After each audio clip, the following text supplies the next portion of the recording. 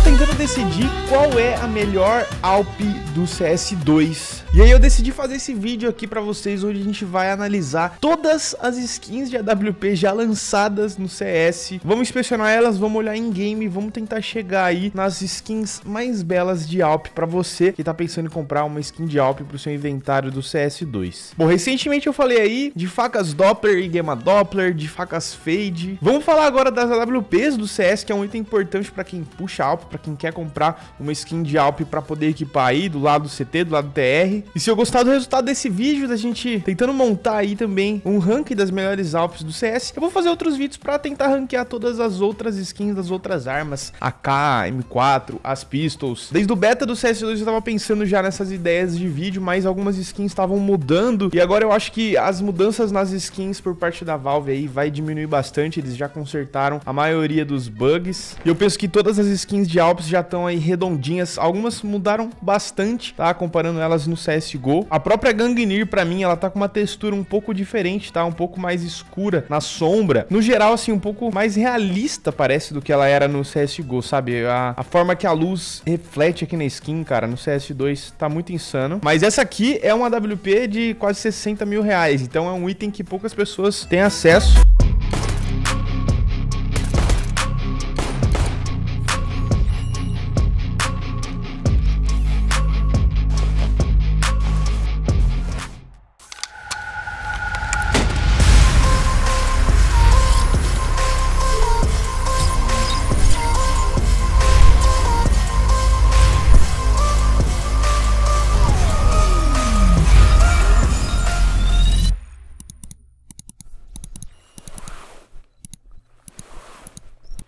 Com esse vídeo aqui a gente vai ver basicamente todas as skins de Alp do CS e tentar decidir aquela que tá melhor entre as mais baratas. Eu acho que vai fazer muito sentido, tá? Por exemplo, pensando qual Alp que eu compraria se eu não tivesse como comprar uma Alp Gangnir ou uma Alp High Tier nesse momento, qual que eu escolheria, vou pensar e vamos decidir no vídeo de hoje. Bom, então vamos lá, como é que vai funcionar? Eu vou olhar aqui com vocês na página de Inspect todas as AWPs, aquelas que forem um pouco mais belas a gente vai olhar também em game no CS. E depois eu vou preencher essa tier list rapidinho no final que você pode depois tirar uma print. Então vamos começar com a última Alp lançada no CS, que é essa AWP Black Nili. Eu já de cara não quero nem inspecionar, ela é uma skin bem básica. A AWP Duality foi lançada antes dela, saudades daquela do Dolore, né? Essa daqui foi a que substituiu. Essa já quero dar uma olhadinha só pra ter certeza que ela não tá, assim, entre as piores. E eu gostei até dessa Alp, ela é interessante, mas não tá entre as melhores. Essa Chromatic Aberration foi uma Alp que ninguém gostou muito, apesar dela ter sido lançada aí com a raridade vermelha, né? E tipo assim, eu acho que ela combina com inventários bem temáticos. Se for um inventário rosa e tal, a Alp vai ficar legal. A Desert Hydra é uma skin que, tipo assim, sempre que eu olho, me surpreende. É uma AWP muito linda. Desde que ela foi lançada, na minha opinião, ela tá entre as mais belas do CS. Mas essa daqui já não é uma Alp muito barata, né? A primeira Alp cara que aparece aqui pra gente, hoje em Factor New, tá passando de 10 mil reais essa WPzinha aqui. E ela é sensacional, né? Top demais. Essa daqui eu gosto. Bom, Pop Alp vai ter muita Alp assim entre as skins de Alp do CS, né, com uma cara meio antiga. A Phage, na minha opinião, é uma das que se destacam no CS2, ela melhorou bastante comparado com o CSGO. Mas essa aqui não é uma Alp barata, ela em Factor New tá custando na casa aí de quase 5 mil reais. Se você quiser com um pouquinho mais de Fade, ainda tem que pagar um overpay, né? Então, assim, não é uma das AWPs mais baratas. Por esse preço, eu não sei se ela entrega tanta qualidade assim. E tem muita skin de Alp que eu acho meio tosca no CS, essa daqui é uma meio tosca. Essa S esqueleto tem gente que gosta, tem gente que não gosta,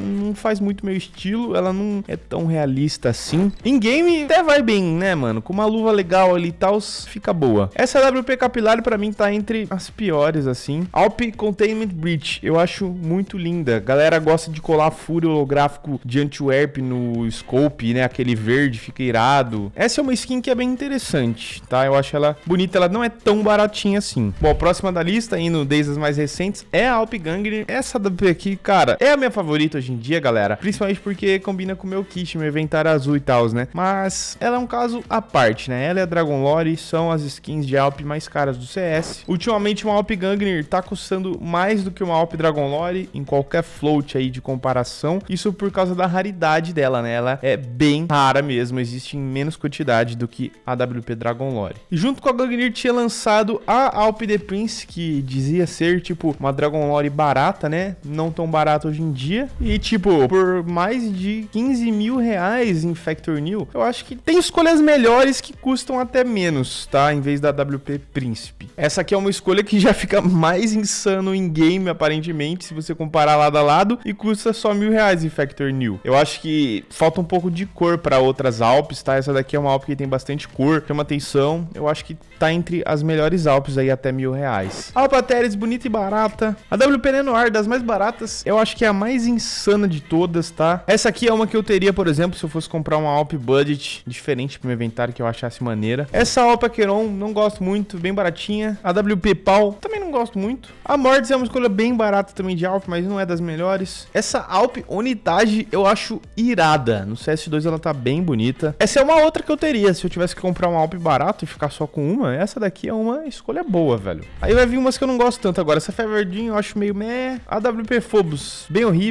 Elite Build. Elite Build, só se não quiser gastar nada em Alp mesmo. Hyper Beast das baratas é uma das mais insanas. Essa daqui é uma que eu já tive no passado. Tipo assim, se você não pode gastar muito em uma Alp, essa é uma das a se considerar e tá muito bonita mesmo. A Alp Medusa, eu acho que perdeu seu brilho ao longo do tempo. Ela era uma skin mais desejada no passado, hoje em dia, tipo assim, hum, mais ou menos, né? Ela caiu um pouco aí no ranking, digamos assim, depois que Alpes mais belas foram lançadas. E essa é uma skin que eu gostei muito por um tempo, já tive com Titan holográfico no scope, já considerei comprar ela com quatro Titans, mas no geral eu acho que ela é uma skin meio apagada assim, sabe? Tipo, tirando quando você inspeciona, ela é meio apagadona, sabe? Mas é isso, né? É a Medusa, tipo, é lendária, mas muito preço pro que entrega. A Alp Sanlé é uma Alp boa e barata também, bem bonitinha. A WP Worm God é uma opção baratinha e bonitinha até. A WP Menor nunca gostei, mas também não tá entre as piores. Aí temos a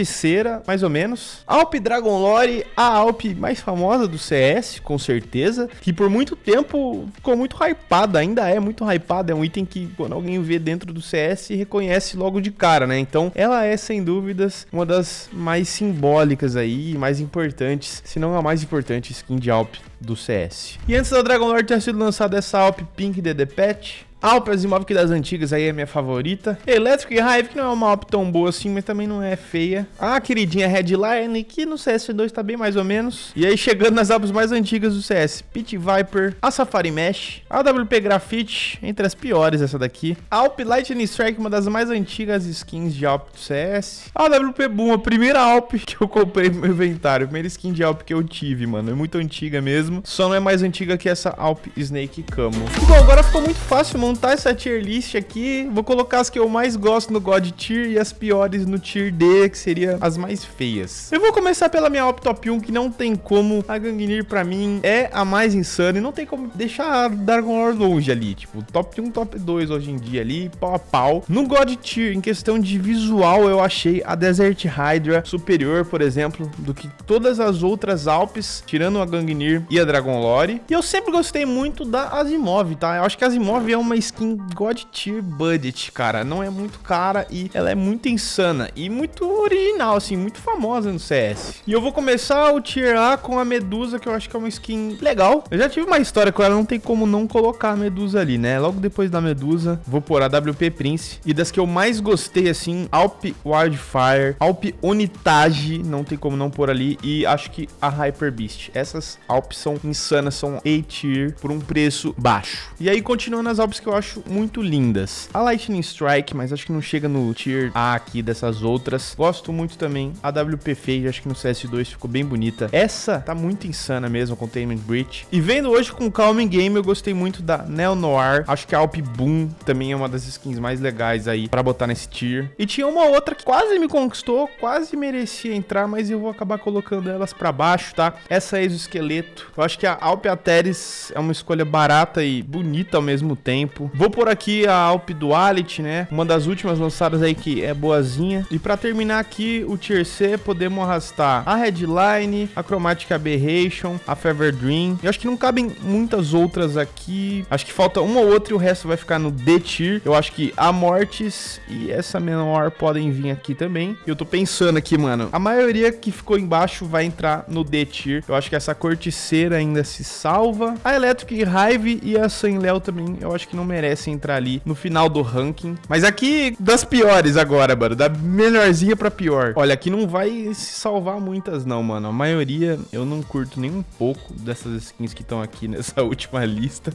Eu vou colocar aqui mais ou menos o que eu acho delas. E é, seria basicamente mais ou menos por aqui, assim, ó. Essas que sobraram, tipo assim, não comprem. Eu acho que elas não valem muito a pena. Talvez a Worm God é, até fique aqui entre as melhores, tá? Mas o resto, assim, é isso. Para mim é isso, cara. E tá bom, é claro que as que ficaram ali no topo são as mais caras, mas isso é um reflexo da demanda ao longo do tempo, né? Das pessoas querendo comprar as skins mais raras e desejando elas muito mais do que as skins menos atraentes e mais baratas, né? Mas eu acho que ficou um tier list bem equilibrado, cara. Se você buscar comprar aí uma das Alpes que tá no tier B pra cima, tem opções ali mais baratas e opções mais caras, obviamente, e todas são belas. É isso que importa, na minha opinião. Você escolher uma skin que você acha que é bonita e combina com o seu inventário. Comenta se você concorda ou discorda comigo desse ranking. Dragon Lore ficou em segundo lugar, Gangnir em primeiro. Mas isso é porque eu sou dono de uma Gangnir. Provavelmente se eu tivesse só uma Dragon Lore e não tivesse uma Gangnir, eu colocaria ela no top 1. Então não tem muito o que falar, né? Então é isso, a gente se vê no próximo vídeo. Um abraço, falou!